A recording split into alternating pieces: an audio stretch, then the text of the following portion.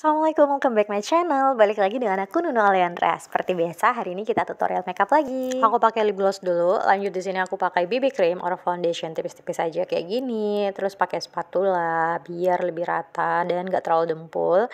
Lanjut di tap-tap seperti biasa pakai spons Pakai concealer basah. di bawah mata. Ini aku pakai sebenarnya produk foundation cream gitu dari Naturactor Oke lanjut pakai blush. Blushnya aku pakai dari lip cream gitu. Aku pakai di pipi biar lebih merona aja. Terus tap-tap lagi lagi biar langsung lebih di baking pakai loose powder terus di bagian bawah pipi juga. Di terus shading. di or di contour lanjut pakai eyeshadow. Aku pakai eyeshadownya warna orange gitu.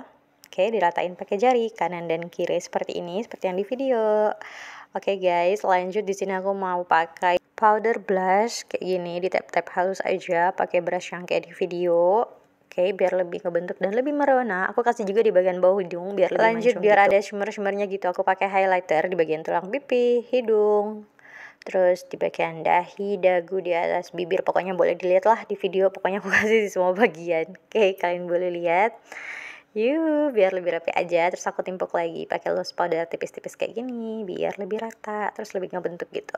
Lanjut aku pakai lip. Uh, lipnya tuh kayak lebih bold, terus lebih tebal aja. Aku nggak ombre sama sekali. So this is the final look. Hope you like guys. Sobat kalian yang mau nonton video kayak gini lagi, jangan lupa subscribe channel aku dan follow Instagram aku @nunuromansyah. Bye bye.